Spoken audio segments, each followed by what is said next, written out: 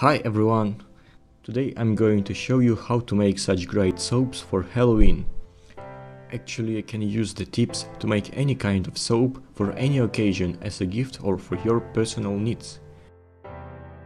All you need is melt and pour soap, alcohol, pigment and several molds. The first soap is called a pumpkin pie. The technique implies any object inside. Some people even use dried flowers, which look great. The next soap is the gaze of the abyss, in blue color and oval shape. It's a bit too opaque, uh, but the main idea of the video is to show you how to create such things. Then you can make them in your own taste. My favorite one. Black rectangular gaze of the abyss. Looks cool. The next one is a bit funny, it's a zombie brain, with black necrosis and a lot of blood.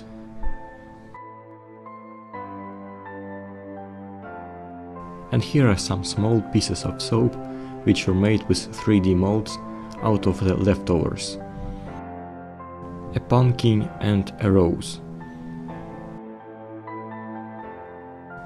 You'll need melt and pour soap, scales, a cup or a glass, knife, alcohol, gloves, flavors, pigments and molds. I use silicone pumpkin mold and plastic molds for square and skull. I also be using black, orange and blue pigments and several flavors. You may use any kind of pigments, but don't use water-soluble dyes, since they mix with each other right in the soap. You can also use scented and vegetable oils. It's a creative process from head to toes, and only the sky is your limit. This is how a plastic square mold looks like. You can substitute it with a plastic packaging which can withstand high temperatures, like this one.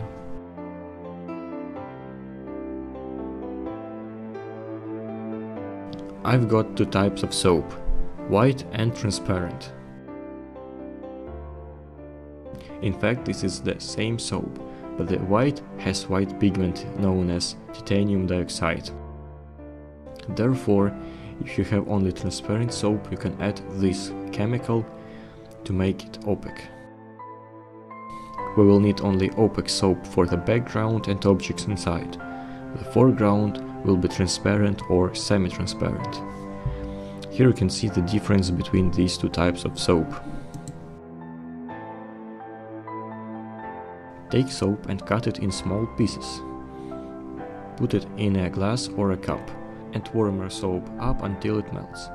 Be careful, don't allow the soap to boil, because boiling causes the oils and water from the soap to evaporate.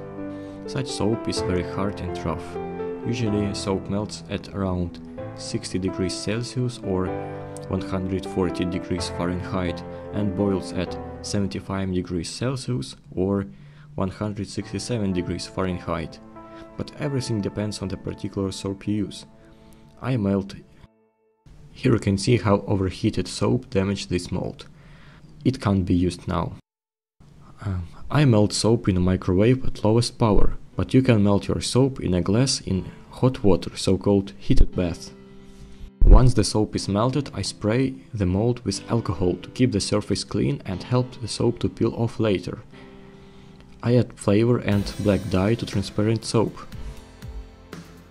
15 minutes later.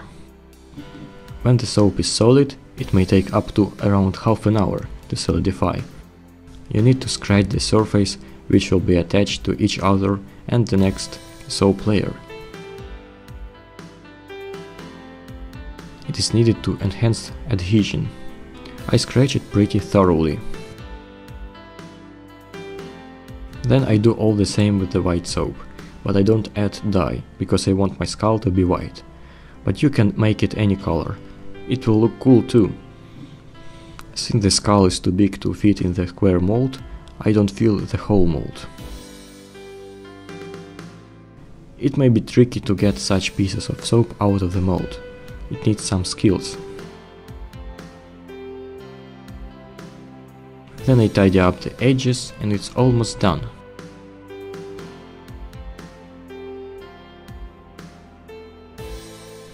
Scratching a bit.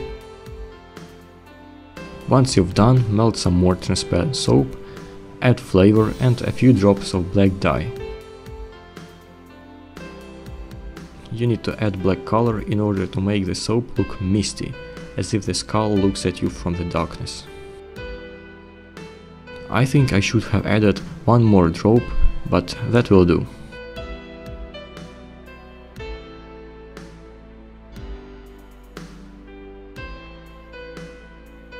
I spray the background and pour some soap to glue the background to the skull.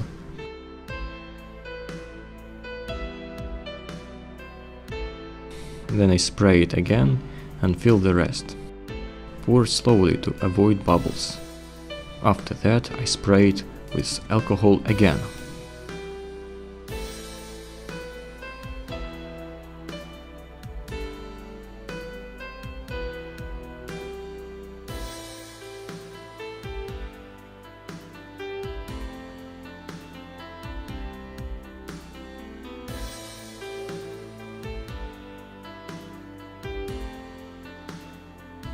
Removing soap from a mold can be tricky.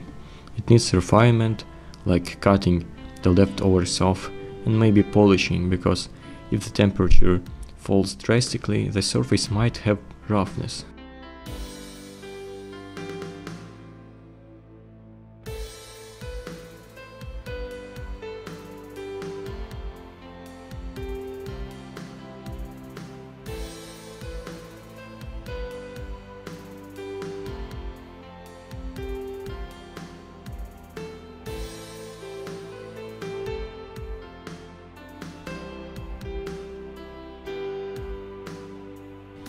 First bar of soap is finished. The producing technique with the second bar is the same, but I use 3D mold and I don't add dye in the final stage, because I want this soap to be crystal clear.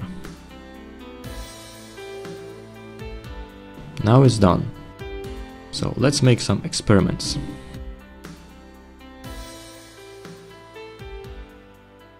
Here's my zombie brain. I like the idea, but I think it's too much of black color. But that looks okay too.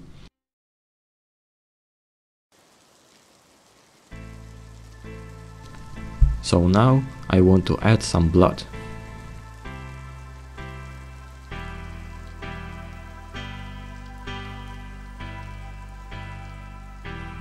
I just pour some red liquid soap on top of my zombie brains. I think it's too much for the blood, but it will look okay too.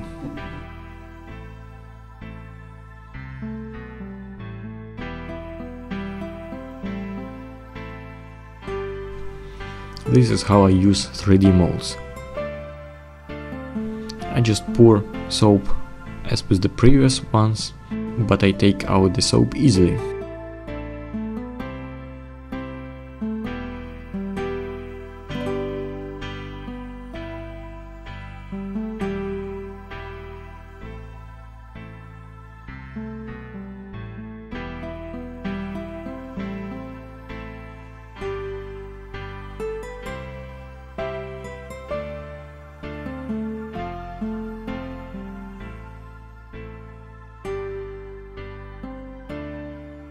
Cut it in half and put it in my pumpkin pie soap.